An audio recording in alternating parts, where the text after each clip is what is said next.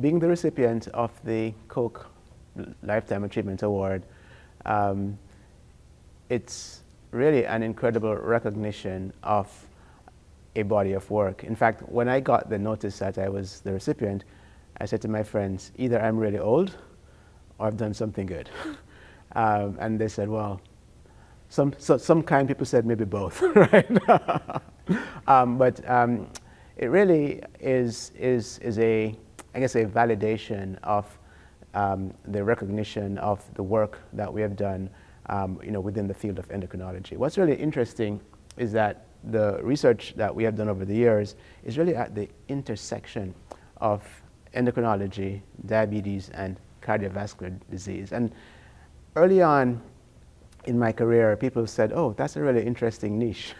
and, and so it really wasn't necessarily, at least originally, uh, viewed as being mainstream endocrine research.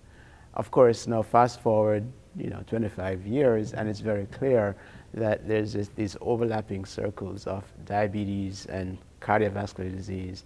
Um, and I think we always knew that they were related, and we always knew that um, cardiovascular disease was you know, a major driver of um, both mortality and morbidity in diabetes.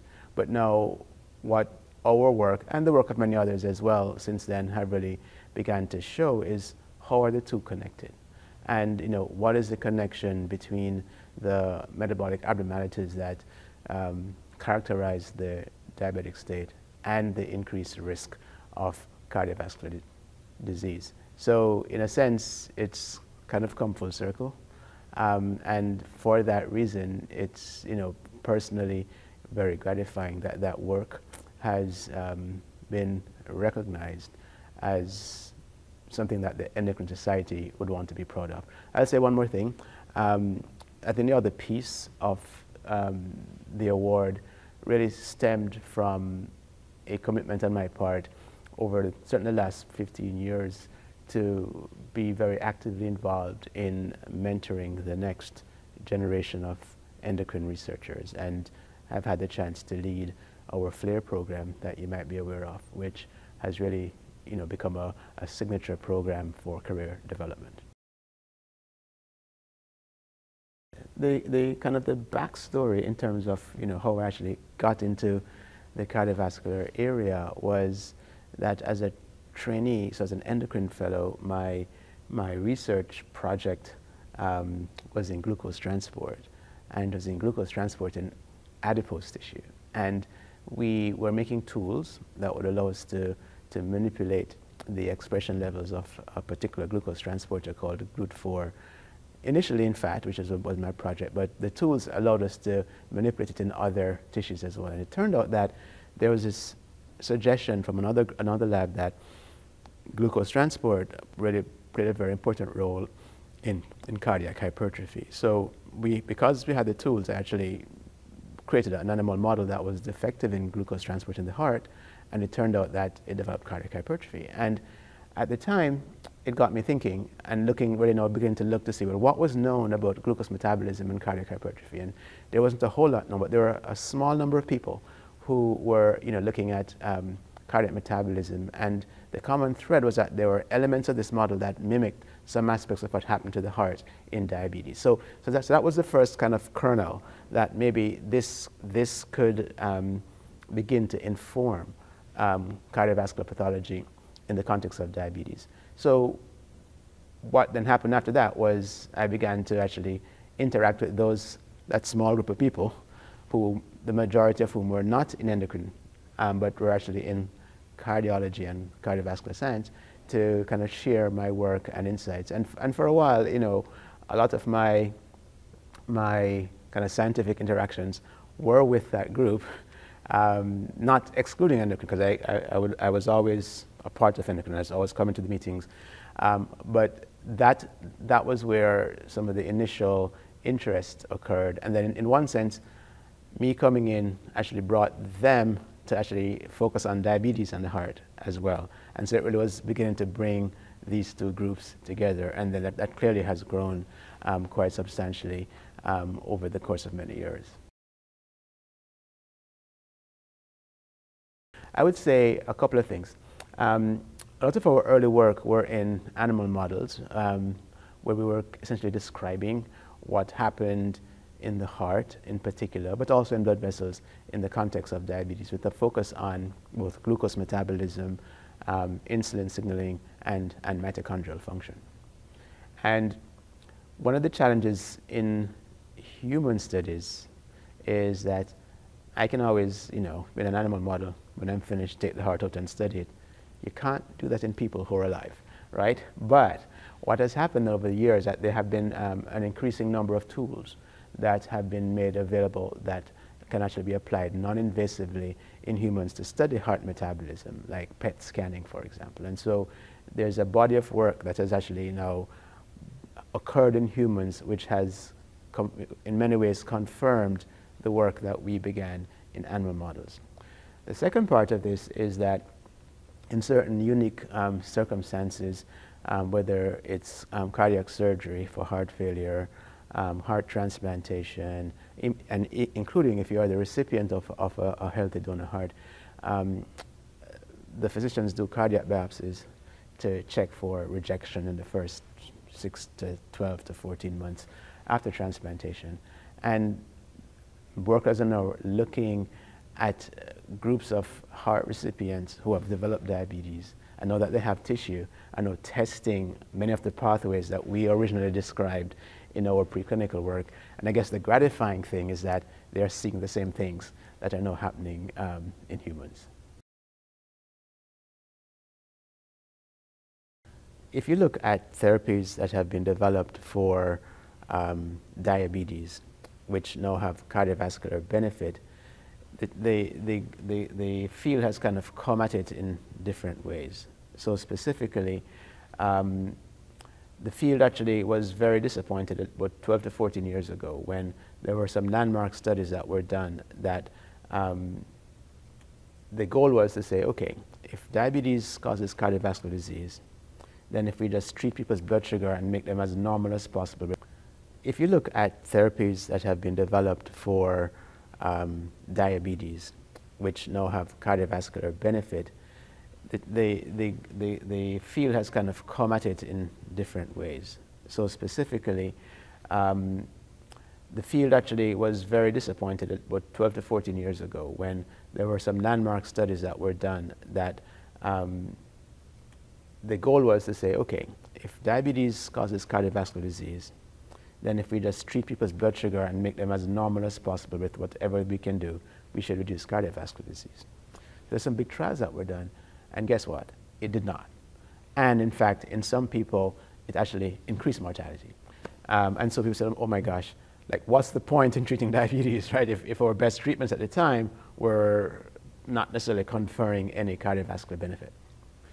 So the FDA said, okay, um, any new cardiovascular therapy, in addition to showing, I mean, any new diabetes therapy, sorry, in addition to showing efficacy in lowering blood glucose, you have to show it's not going to increase the risk of cardiovascular disease. And so these cardiovascular outcomes trials became an essential part of the approval process for any new diabetes drug. And, and, and then there, there are a number of new classes which, which, which, which came out, um, DPP-4 inhibitors, SGLT2 inhibitors, GLP-1 receptor agonists, and in at least two of those classes with regards to the GLP-1 receptor agonists and the SGLT2 inhibitors, there was a significant benefit in terms of cardiovascular outcomes um, in people with diabetes. It turns out that these drugs now have benefit in people without diabetes, right? And, and therefore that got it in, okay, we, we now have something that can actually prevent cardiovascular disease in, in, in this group of people. So it's like an accident, right? So these are diabetes medicines, but they now had this new bar to prove efficacy, and they now jumped over the bar to say, oh my gosh, they reverse cardiovascular disease. So that's now spawned um, a significant amount of research in terms of trying to understand why these agents actually have the cardiovascular benefit. And many of the pathways that we had described and others that may contribute to cardiovascular disease are now being interrogated now in people who are now being treated with these agents that have proven therapeutic benefit. So it's kind of how two things have kind of come together in a way, to, um, to overlap.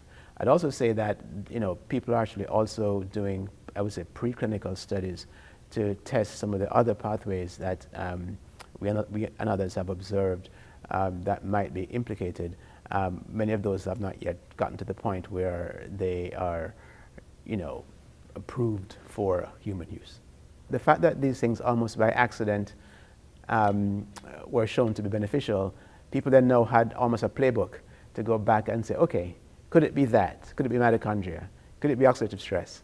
Could it be, could it be me metabolism? And if that work hadn't been done before, then people wouldn't necessarily intuitively would know what to go check for in terms of trying to understand the mechanisms for the benefit.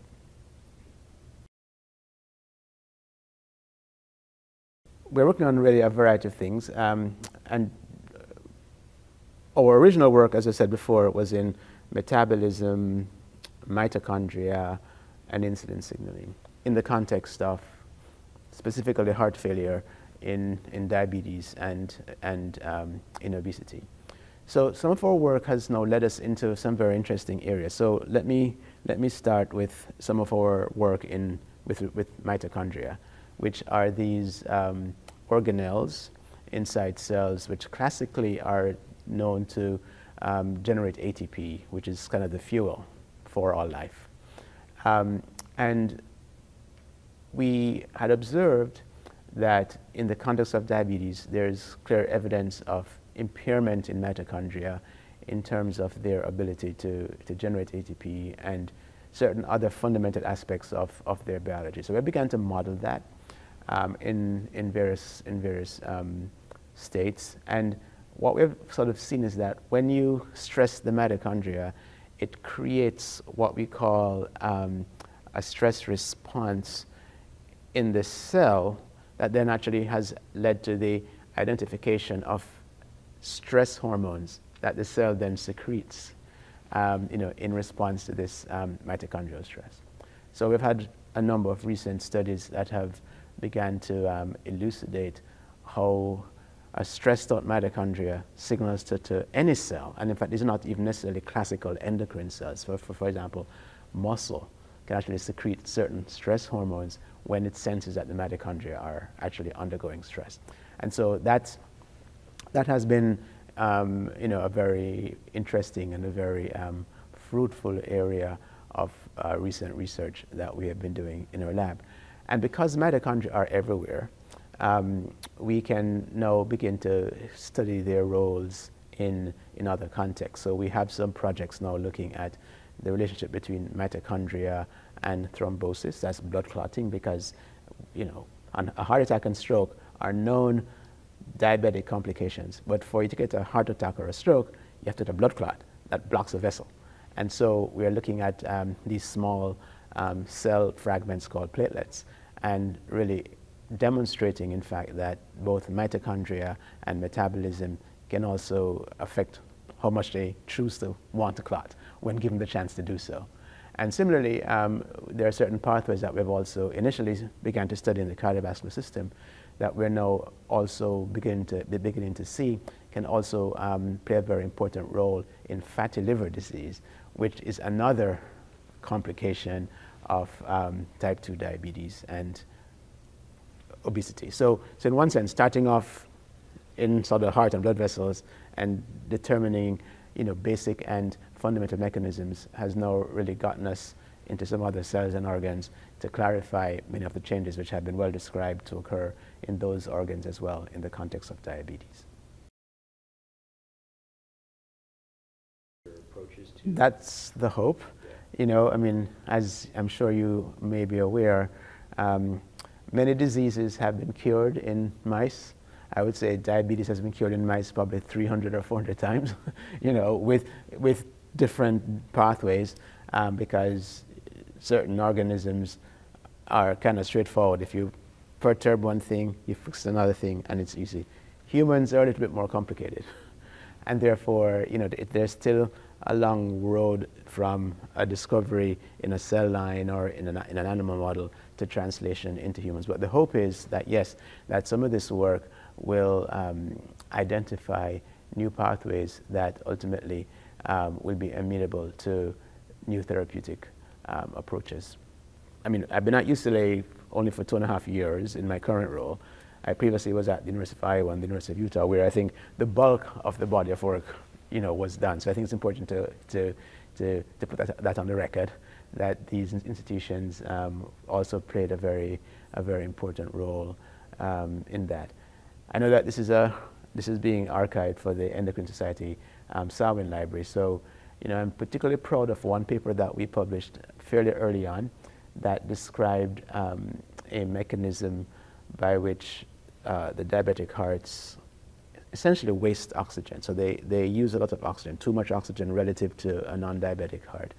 And that paper was published in one of the journals of the Endocrine Society, Endocrinology, and it turns out is one of my most highly cited papers. So, so very proud to have a paper that's been very highly cited, but also very proud that it was published in a journal of, of, of, of our society.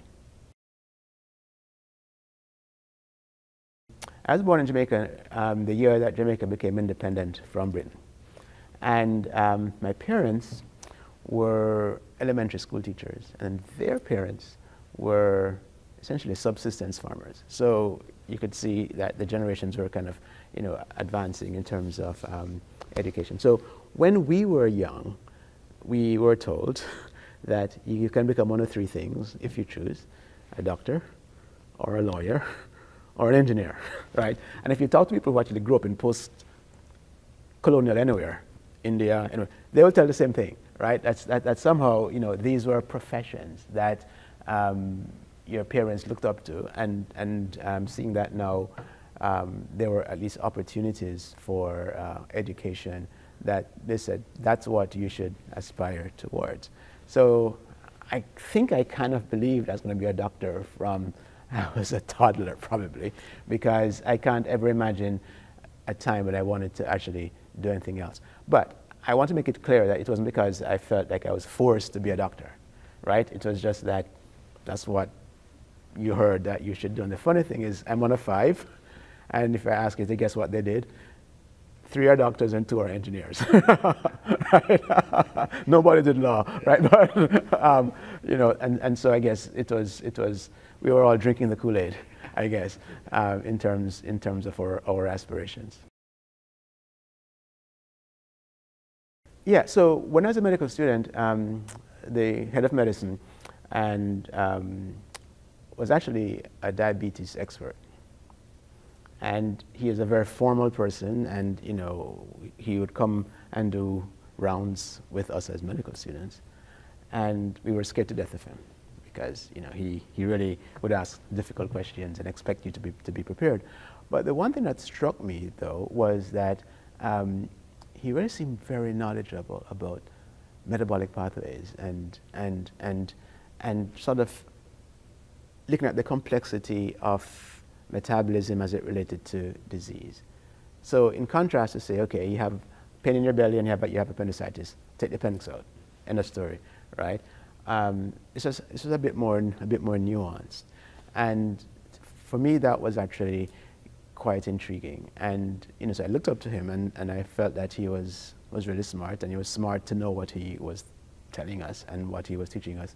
And so that got me interested. On a personal note, my grandmother in particular, but both of my grandparents later in life, but my grandmother um, had type 2 diabetes. I was aware of that um, because I would see her like, testing her urine for sugar because that's kind of how you tested it back in you know back in the day. So, and um, so there's this awareness that there was this problem. Your grandmother had it, um, and you know you saw people having some complications from it, and so that was that was the first sort of general attraction to this as a field because I was very curious about this. Um, when I finished medical school, and I did a medical school in Jamaica at the University of the West Indies, um, a former external college of the University of London. So what the British did was that they formed these, these medical schools all over the colonies, um, essentially copied the curriculum of the University of London. And because retirement was mandatory in the UK at 65, the professors essentially then went, went to the colonies and continued teaching for like 10 more years. So it's a really nice gig, right? Um, and, and, and so, but you know, very, very clinical training. And so um, I think I was a good doctor. I knew how to take care of patients, but I was still a little, this, this, this itch that you had to keep scratching, which was how did these things get into the, the textbook? And so I said, I really felt I needed to get more formal training in research. And that was what motivated me to um, apply for a Rhodes Scholarship, which I got, and then to go off to, the, to, to Oxford to do a, a PhD afterwards. And so my PhD mentor, um, and so this is now in the, um, in the, in the mid 80s, um, said, you know, there's this thing that's emerging called the metabolic syndrome, um, which is this clustering of diabetes and hypertension and abnormal cholesterol, and we don't really understand it. Um, but we think there are things that are linked. And, and therefore, um, my PhD project was to start off with people with high blood pressure and actually look to see if we could detect any subtle metabolic abnormalities that could predict a risk to developing diabetes. So, so, so that was so now how the, in, the interest was becoming more formalized in terms of you know, pursuing an interest in um, cardiometabolic research. Um, so I, I, finished medical school, didn't do any, any post-medical school clinical training yet, got this PhD, but knew I was going to come back and do clinical training afterwards to do my residency.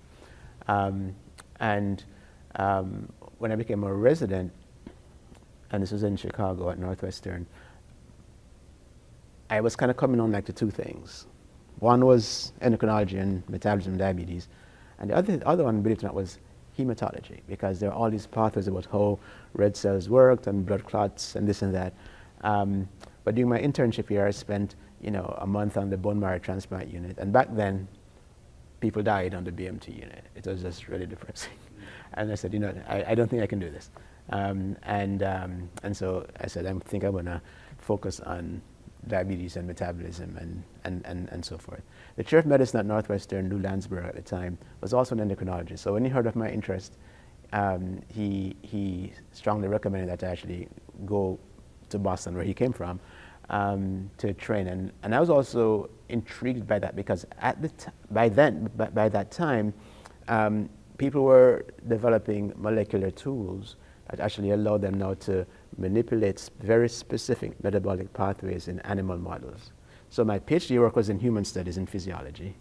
And now there was this opportunity to get training in sort of basic um, molecular mechanisms that you could, you could actually still model in an animal model and therefore then translate that back to the physiology. So, so that was really the attraction to go to, well, actually here in Boston, actually, we're, we're in Boston as we, as we interview this, um, to, to, to, to, do my endocrinology fellowship and work with um, mentors such as Barbara Kahn um, in sort of the molecular modeling of metabolism. Oh, immensely. So, um, first of all, there are like two meetings that we, we would go to. There's the Endocrine Society meeting, there's the American Diabetes Association meeting. And what really struck me about the Endocrine Society was it really had the feel of a big family. Everybody seemed to know everybody. Um, and, and they were also very inclusive in that they, they really wanted to get the input and opinions of as broad a base of the community as possible. And that, that was very attractive. And what then happened was that um, the Endocrine Society, even back then, was always looking for younger people to become involved in and engaged in, um, in committees within the Endocrine Society. I can't remember exactly when, although I'm sure that, that um, Elizabeth can, can tell you exactly when, when I was asked to um, join one of the committees, but I was asked to join a committee. I think it was, in fact, it was, it was the Minority Affairs Committee. um, and I was, in, I was invited to join that committee. Um, and what that did was a couple of things. One, it, we got to meet other people who were focused on this area within the organization. Two, um, we also realized that, that a big focus of that group was trying to, trying to really increase the um, pipeline into the society and into the field of individuals who were historically underrepresented in, in medicine and, and research. Um, and you really got a sense that people are really thinking a lot about this, thinking creatively about this. And, and so what then happened was that, you know, people see that you're engaged, and then after your term is finished in one committee, you get asked to be on another committee and another committee. And I don't know exactly how many committees I've served on over the years, but I think quite, quite a few um, of the committees. And then at some point, you know, you get nominated to be on the council at the time or the board and, and so forth, right? Um, and so, you know, that was um, one important part. Now, in this process, of course, a couple of things happen. So you actually get to know people in, in, in the context of committee work, but you also get to know people in terms of what they do scientifically. So for example, come back to my interest in glucose transport. It turns out that one, I can't remember which committee, it must have been MAC, which is Minority Affairs. Um, he was at the University of Colorado, and he studied another glucose transporter called GLUT1. And um, he had generated a model where you could actually increase the amount of GLUT1 on cells. And we were thinking about another model where we could reduce, and we were just talking over lunch at, at, at a meeting, and we decided to share tools. And that, in fact, spawned a, a very productive collaboration um, in that area, um, which certainly was mutually beneficial, certainly opened up new, new avenues of research and investigation for our lab. And then, you know, just one example of a random conversation of lunch that, that, that ultimately, you know, ended up being, you know, a very, a very real and, and robust collaboration. Um, I can think of a few other examples at meetings where interactions at meetings have really led, again, to um, either enhancing or slightly redirecting one's um, scientific, scientific direction. The power is in large part the relationship because you know you can meet at a meeting and you can have you know an hour or two of networking, but that's not enough. It's it's it's the follow up. It's it's the meeting again in between. It's the exchange of reagents and so forth. And, and, um, and so in one, in one sense, the meeting is an opportunity to begin to know others, interact with others who might be doing similar things. But it also enables you to continue those conversations beyond the meeting. I think it's important to underscore that, that, that if you think about it, and I'm sure you just look, look outside the hallway, people are just running around, going from session to session and so forth.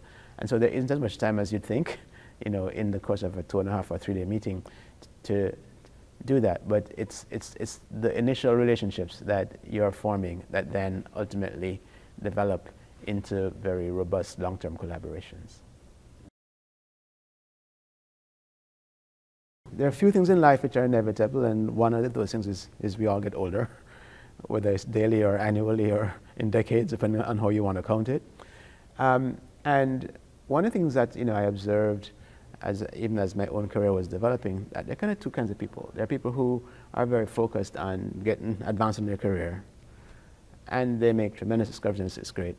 Um, but there are those who also, as they do that, recognize that they need to ensure that they are um, transmitting the tools and skills to the emerging generation so that they can continue to, to, to bring the field forward. And it became very clear to me as, and I've mentored a lot of people over the years um, at different levels. Um, uh, if I count everybody, it's about a couple hundred people. Um, and it's always remarkable what they bring to the table in terms of ideas, perspectives, some of which might be a little out there. But you know, I've always, always said to if one of our jobs as mentors is actually to, to stop and listen to our mentees because um, many of them are actually way brighter than we are if we just allow them to, to, to, to shine. Um, and so I recognized early on that um, if one starts to think about legacy, then yes, you'll have a body of work and everybody says, oh yeah, you discovered X, Y, and Z. But more importantly, it's are there, are there, is there an army of people now who are carrying on the work and expanding it into, into directions that one in single individual could never do. Um, and therefore, that, that has been, you know, a very strong internal motivator, which is, you know, you go somewhere, you want to leave it, but then, then, you, then you found it. But, but more importantly, you want to make sure that people who are there are equipped to carry on um, the, the, the mission and purpose. And as somebody, you know, who historically, uh, from a group of individuals who are historically underrepresented in, in medicine, um, that was also a, an important uh, area of awareness and ultimately focus um, to ensure that, you know, as I was becoming successful, that um, I was recognized as becoming a role model to many people. And therefore, you know, what could I do to kind of create pathways for them to, um, to be successful? And so that was one of the, the, the, um, the motivations for kind of stepping up to, to lead the FLARE program when the NIDDK actually sent out, hey, we want to give money away, competitively of course, um, for professional societies to give us proposals in terms of how could you create programs that could build a sustainable pipeline um, to increase and to enrich both not only your um, professional society, but the field and to um, increase the um, opportunity for individuals who historically um, were not well represented in, in that group. And so that was really the motivation for um, leading the FLARE program. And it's a program that I, think you are, I'm proud of. You've probably heard bits of it and as you've made, this, made, made, made, these videos, but this is, the society now is, is incredibly proud of. And there's you know, very strong sort of evidence to, um, to back up its success in terms of individuals who have gone through that program and are now emerging as leaders within the field and also leaders within the endocrine society. Yes, you know, each year we have a reunion um, of the FLARE program. Um, I think this, this year was probably the biggest one that we've had. And it, you know, uh, it was it felt like a big family reunion. And um, so, the, so, so there's that. And, you know, I think you, when you sit down and you look at, at people now who are in leadership, people who are serving as committees, committee chairs, um, people who, who, are now on the board, who, who are the graduates of this program, the reality speaks for itself. There are a number of challenges to the field of endocrinology um, in terms of individuals choosing to go into endocrinology as a career, particularly clinically. Um, and there are many reasons for that. I think that there are reasons around um, the compensation that one gets as an endocrinologist relative to other specialties. There are issues around the exposure that medical students and I would say internal medicine and pediatric residents have to endocrinology because a lot of their um, training is, is hospital based and what you see in hospital uh, is people with severe heart disease or people with cancer or people with, you know, in the ICUs with pneumonia and things like that. And, and, and so a lot of the endocrinology is really, we've done, we've done such a good job in understanding many endocrine disorders that we can treat most patients outside of the hospital very effectively. Um, unfortunately, many of our trainees don't spend enough time outside the hospital in their training. And, and I think if we were able to, um, you know, increase their um, exposure to this, then that might actually increase their interest. And, and even though I'm not, you know, directly involved, um, I completely endorse the, the plans of the society to reach into medical school to, to, to begin to um, increase the interest. The other thing which I think is important, more, more on the research side. So there are many elements of endocrinology which I think have revolutionized many other fields. Um, I'll give you a couple examples. It was endocrinology that you know, um, identified receptors. That um, endocrinology that elucidated what we call signal transduction. It was endocrinology that elucidated um, sort of nuclear hormone signaling. Well, the receptors now and many of these pathways now are representing some of the very mechanisms that are revolutioni revolutionizing the treatment of cancer. Um, and sometimes you get the feeling that these other fields feel that they, that they discovered it and know they own it. Now, many of these fields are bigger than us, I mean, in terms of, of, the, of the number of people in those fields, right? And so, you know, we, we have done a lot of, I'm going to say, the fundamental work um, that has defined many fields. I'll give you one more example. The Nobel Prize for um, developing something called the radio radioimmunoassay was um, won by um, Rosalyn Yalow, a member of the Endocrine Society, um, and she won the Nobel Prize. If, and for many, many years, uh, radioimmunoassays were done by endocrinology divisions or endocrinology de departments because we had the expertise. Well, for whatever reason, these things now sit in clinical pathology labs. And we are therefore, you know, a step removed from, from the, um, the generation of that. And, uh, you know, in one sense, I think endocrinologists are by nature generous, right? We, we want to, to, to take the knowledge that we have developed and we really want it to have its, its, its broadest impact. The downside of that, of course, is that it then kind of goes away into other fields. And over many decades, then sometimes the connection between endocrinology and that particular area may not necessarily you know, be so obvious. So what that therefore means for scientific trainees is that they, they, they can end out studying what's fundamentally endocrinology, but either on another label or in, a, in another field. And, and so that's a challenge to the field, particularly on the basic science side, and it's something that you know, the Endocrine Society continues to really focus on and grapple with um, to ensure that our relevance to those who are pursuing basic research um, remains high. I think there are ways, there are ways to do that. Um, one of my FLARE mentees, for example, um, you could look at her and say, oh, she's an immunologist. True. But she is looking at immune mechanisms that relate to obesity and that relate to infertility and so forth, right? And so it's, it's, it's bringing back those other areas around a focus of endocrine disease, which I think is something that is, um, is very important for us to continue to pursue to ensure that, we, that you know, really all of the discoveries that we continue to make you know, remain very relevant.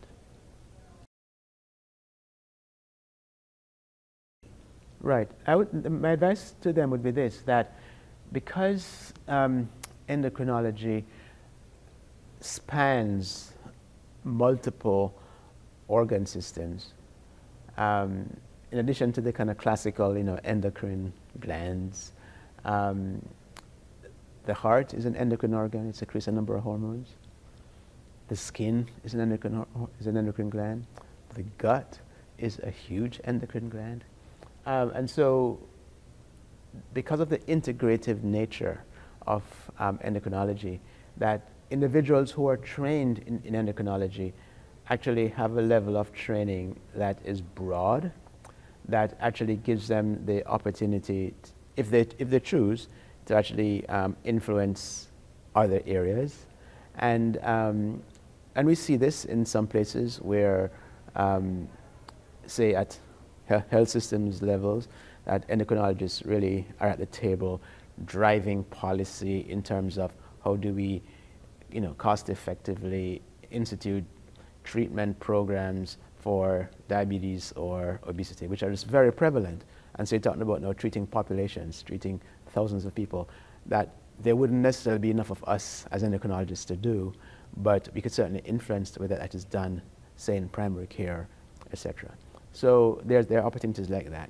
There are a lot of opportunities um, in terms of um, interacting with, collaborating with, informing other areas to actually improve the health of individuals. And then, of course, there's just the, there's clearly, you know, just the, the interest and the diversity um, of endocrine disorders that you would see if that is if that remains your um, primary focus. So my advice would be, it's an incredibly interesting, incredibly exciting um, area that really touches on multiple systems and um, really informs sort of holistic care um, because many of the, the, disorders that we treat ultimately, whether it's their complications or um, their um, pathophysiology, really touches many, many other systems. So that's, that, that would be my sell to our trainees who are, who are considering um, you know, going into that area. Um, I'd also say that um, because we are in a world where A, the population is aging relative in terms of the, the, the, the distribution of age across the entire population. B, the um, prevalence of metabolic disorders is rising, that the need for people with endocrine expertise is only going to increase.